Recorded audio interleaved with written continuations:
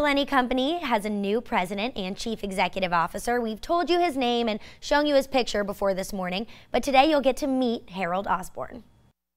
For as long as he can remember, Tabasco has practically been Osborn's middle name. I was punching uh, the prices on canned goods with an, an, old ink thing and then stocking shelves at, at, eight years old. And I actually have one of my most prized possessions is a is my first paycheck, which was 50 cents an hour, and I worked for the whole summer and I made $50. From hauling barrels of aging hot sauce to business management, since that first summer, he's worked just about every job here on Avery Island watching the McIlhenny Company expand while sticking to its homegrown roots. We follow the same recipe that my great great grandfather did 150 years ago. And he doesn't just mean the hot sauce recipe.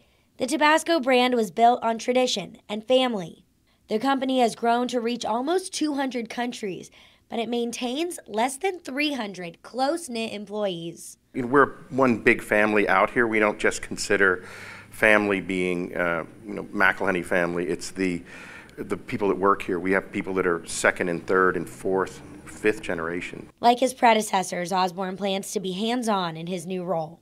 I've known a lot of the presidents I, through throughout just being a, a, youngster here, and, and it really is. It wasn't a lot of talk; it was a lot of action. Taking care to taste each batch of Tabasco before and even more so after production. I've known a lot of the presidents I, uh, through throughout just being a, a youngster here, and, and it really is. It wasn't a lot of talk; it was a lot of action.